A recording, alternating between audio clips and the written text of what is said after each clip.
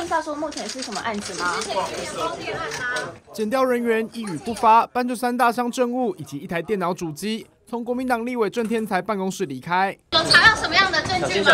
二十七号上午，北检趁着立法院休会，突袭搜索郑天才办公室及住所等多个地点，并约谈他本人到案，原有恐怕跟他的前执行长张腾龙脱不了关系。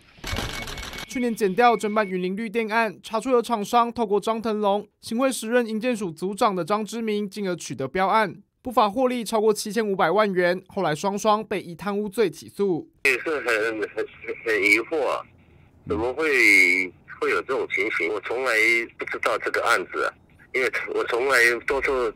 多只处理原住民的案件呢。当时郑天才说完全不知情，但剪掉疑似找到新市镇，时隔一年再搜索他的办公室，郑天才以被告身份遭检方约谈。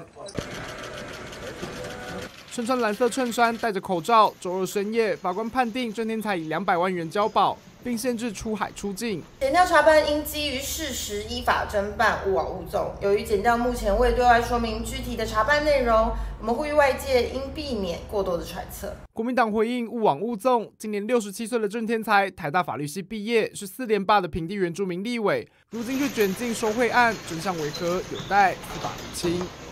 民事新闻综合报道。更多精彩新闻，请下载 App 订阅《民事新闻网》。